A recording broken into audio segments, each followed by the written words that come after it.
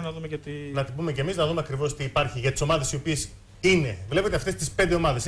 Ο Αστέρας Τρίπολης που θεωρητικά έχει το πιο εύκολο έργο από τις άλλες, γιατί έχει ε, πέντε, ε, 7 βαθμούς διαφορά από την επικίνδυνη ζώνη. Παίζει με Ξάνθη, Βέρεια εκτός και Ηρακλή εντός. Να πω κάτι όμως. Δεν Ο είναι 7 Ηρακλής βαθμοί. έχει Ουσιαστικά 22 για το βαθμούς, Ηρακλής. ε. Μισό λεπτό, Γιώργο, αυτό που να πω. Είναι 22 γιατί θα τους πάρει τους 3 βαθμούς από ό,τι φαίνεται Οκ, ρε την παιδιά, επόμενη για- εβδομάδα. Για, να έτσι. αποφύγουμε το αυτό από ό,τι φαίνεται. Εντάξει, 22 λοιπόν. Είναι Οπότε είναι 4. 4 βαθμοί Έχει διαφορά. υπογράψει ο, Κουβάλας. ο Κουβάλας. Μπουκουβάλας, Ρύθμιση. οπότε οι βαθμοί θα Και επιστραφούν. μάλιστα ο Μπουκουβάλας Χωρίς χάρισε να πάρει χρήματα κο- στον Ηρακλή χρήματα. και υπάρχουν και σχετικές δηλώσεις. Ισχύει. Και με το Λαδά υπήρξε διακανονισμό. Ωραία. Σωστά. Γι' αυτό Η έχουμε ΑΕΛ- και δύο αστερίσκου. Δεν Η έχει ΑΕΛ- πάρει χρήματα ο Μπουκουβάλας, απλά υπέγραψε ότι τα Παιδιά, πήρε. για να μην το πάμε τώρα, είναι ξεκάθαρο ότι το πάμε με βάση τη βαθμολογία όπως είναι. Όταν με το καλό επιστραφούν οι Ναι, βαθμοί, ναι. πολύ ωραία θα το χαρούμε και εμείς για να το πάμε Εννοείται. στους 22. Εννοείται αυτό το Εννοείται. πράγμα, Γιώργο. μου. Λοιπόν, η ΑΕΛ παίζει με ατρόμητο έξω, Ξάνθη εντός και Παναθηναϊκός στη λεωφόρο. Αυτό είναι το πρόγραμμα, δύσκολο και για την ε, ΑΕΛ.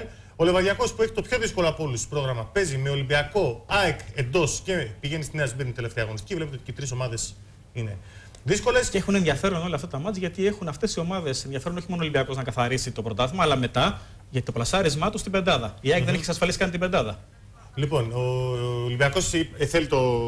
και Είναι η επόμενη αγωνιστική που ακόμη δεν το έχει ξεκαθαρίσει. Πρέπει να το πάρει και μαθηματικά το Φυσικά. πρωτάθλημα. Η ΑΕΚ και ο Πανιόνιος, Φυσικά. ό,τι και να ήταν, είναι που θα ψάχνουν το καλύτερο Μα η ΑΕΚ είναι πλασάρισμα εκτός πεντάδας τώρα. Με τη διαίρεση κτλ. Είναι ότι η ΑΕΚ, αυτό θα έλεγα ακριβώς, Βέβαια. ε, περιμένει να μπει στην ε, πεντάδα. Ο Ηρακλής, ε, με τη γνωστή ιστορία που λέγαμε πριν, πάει στα Γιάννενα, υποδέχεται Πανετολικό και πάει Αστέρα Τρίπολης. Και η Βέρεια, η οποία έχει τις λιγότερες πιθανότητες πλέον από όλους και με βάση τη βαθμολογία πάντα, ε, πηγαίνει στο Αγρίνιο, υποδέχεται τον Αστέρα και κλείνει με την εκτός έδρας μάχη στην Ξάνθη. Συν πάντα το θέμα της αδειοδότησης, το οποίο είπαμε σε πρώτο βαθμό θα πέσει. Που θα Και είναι περιμένουμε να μεγαλύτερη δούμε τι θα γίνει μάχη στο αυτή. δεύτερο. Ακόμη Ό,τι πιο μεγαλύτερη. φαίνεται, ναι, έτσι. ναι, ναι. Και Γιατί για τη άμα μία στο ομάδα- κάτω-κάτω μπορούμε να πιστέψουμε τη δίκηση που πήγε στα αποδητήρια όπως μας είπαν τα παιδιά και λέει: Μην ανησυχείτε, τώρα θα πάνε. Και με Ηρακλή θα δούμε Να τι θα γίνει έτσι με το θέμα αυτό, Γιάννη. Σωστά. Έτσι, βέβαια, βέβαια. βέβαια. Ευχαριστούμε, Γιάννη.